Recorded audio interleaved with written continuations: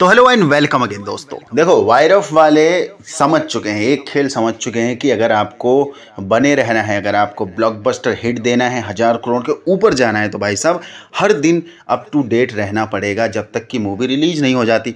और कुछ एक दिन ही बचे इस मूवी को रिलीज़ होने के लिए, और मैं कह रहा हूँ ना, बारह नवंबर को ये दिन हिस्टोरिकल होने वाला है, क्योंकि इस दिन दो जगह बॉम्ब फूटेंगे, एक तो सबके घर में बॉम्ब फूटने ही फूटने वाले हैं। दूसरा थिएटर हाउस में जो सबसे बड़ा धमाका होगा बिगेस्ट लेवल का धमाका। मतलब बॉलीवुड इतिहास में ऐसा धमाका शायद कभी हुआ ना होगा। पठान जवान एक हिसाब से इसके सामने छोटा सा रॉकेट लगेंगे।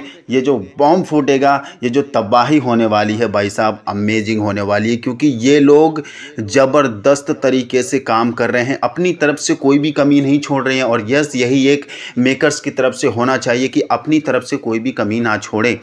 आज जो नया पोस्टर रिलीज़ करा है, भाई औसम है। देखो, यहाँ पर पहले क्या होता था, Salman Khan no doubt big face है। इनके पास ऐसी स्टार्डम है, ऐसी फ़ैन फॉलोइंग है, ज़बरदस्त। दूसरा कटरीना कैफ इनके पास भी ज़बरदस्त फ़ैन फॉलोइंग है। लेकिन विलेन को फेस बनाकर जो ये वायरफ वाले कर रहे हैं प्रमोशन भाई, ये चीज़ कहाँ से सीखा इन्होंने? पठान से सीखा। पठान में क्या था? शाहरुख खान को तो प्यार मिला ही मिला था। लेकिन जॉन अब्राहम को निगेटिव रोल में एज विलेन लोगों ने इतना ज़्यादा पसंद किया। हालाँकि जॉन इब्राहिम की एक चीज़ वीकनेस के रूप में देखी जाती है। कौन सी? उनकी एक्टिंग और बस यस एक्शन वगैरह लुक वगैरह ऑल आर अमेजिंग लेकिन इमरान हाशमी ये बंदा यहाँ पर विलेन के रूप में वायरफ वाले इतना ज़्यादा बूस्ट क्यों कर रहे हैं? एक हिसाब से इसको फेस बनाकर टाइगर थ्री को लगातार आगे क्यों बढ़ा रहे हैं? क्योंकि इमरान हाशमी की जो एक्टिंग है, जो इसकी वर्सिटैलिटी है, जो इसका एक्टिंग का कीड़ा है, इसको इतनी अच्छी तरीके से इन्होंने तो पहले यूटिलाइज करा होगा। और इस चीज़ का ये लोग फ़ायदा उठाना चाह रहे हैं।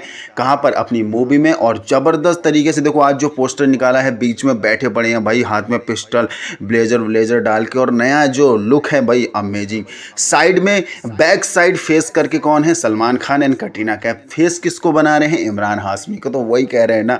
भाई साहब, ये लोग समझ चुके हैं कि यस यार, यहाँ पर हमें अगर आगे ले जाना है तो यह सिर्फ़ सलमान खान का नाम नहीं लगेगा, इमरान हाशमी का भी नाम लगेगा।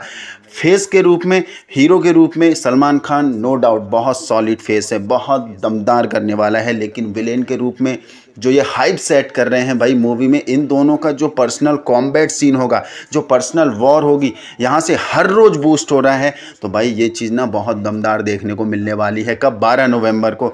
तो नवंबर दूर नहीं है 12 नवंबर कोई दूर नहीं है। तो 12 नवंबर को होने वाली है तबाही। और मनीष शर्मा यार, इनसे ये उम्मीद नहीं थी कि ये ऐसी मूवी खतरनाक वाली निकाल देंगे, क्योंकि ट्रेलर में हमने देखा मूवी का पोटेंशल हाई है, बहुत ज़्यादा हाई है। वायर में ना एक चीज़ बड़ी खतरनाक चल रही है कॉन्ट्रोवर्सी चल रही है कि यार बेस्ट विलेन किसको बोले? जॉन इब्राहिम उर्फ़ जिम को या फिर इमरान हाशमी उर्फ़ आतिश को? तो भाई साहब तो ये फ़ैन वॉर तो ये फ़ैन वॉर भी देखी जा रही है। तो मैं यहाँ पर ना इमरान हाशमी को प्रेफरेंस दूँगा। इमरान हाशमी बेस्ट विलेन होने वाला है। कैसे? क्योंकि सुपर माइंडेड हिसाब से जो ये सातिर, तेज, तर्राट, चलाक दिखाने की कोशिश कर रहे हैं इसको। ऊपर से इस बंदे की एक्टिंग वो अलग लेवल का हिसाब फाड़ के जाएगी। तो भाई साहब, ये बंदा ना बड़ी ख़तरनाक होने वाला है। विलेन के रूप में ये इतना हावी होने वाला है सलमान खान पर। मतलब विलेन डोमिनेंट मूवी होने वाली है एक बार के लिए, और सलमान खान पर ये टूटने वाला है, बहुत बुरी तरीके से टूटने वाला है मूवी में। तो टाइगर भाई क्या करेंगे, क्या नहीं करेंगे, वो बारह नवंबर को पता चल जाएगा। तो आप लोगों को ये नया पोस्टर कैसा लगा? भाई मुझे बहुत औसम लगा, बहुत दमदार लगा, क्योंकि यहाँ से ना सीधा सीधा पता चल रहा है कि भाई होने वाला है। कुछ ख़तरनाक, कुछ तगड़ा। कब? 12 नवंबर को। दिवाली है। बॉम्ब तो फटेगा ही फटेगा। दिवाली थिएटर में अलग तरीके से बॉम्ब फटने वाला है। तो आप लोग इस मूवी के लिए कितना इंतज़ार कर रहे हैं? भाई, मैं बहुत ही बेसब्री से इंतज़ार कर रहा हूँ। ये मूवी डेफिनेटली डेफिनेटली हज़ार करोड़ प्लस जानी ही जानी है। आपकी क्या राय है? नीचे कमेंट बॉक्स में ज़रूर बता के जाना। मिलते के लिए वीडियो में। जय हिंद।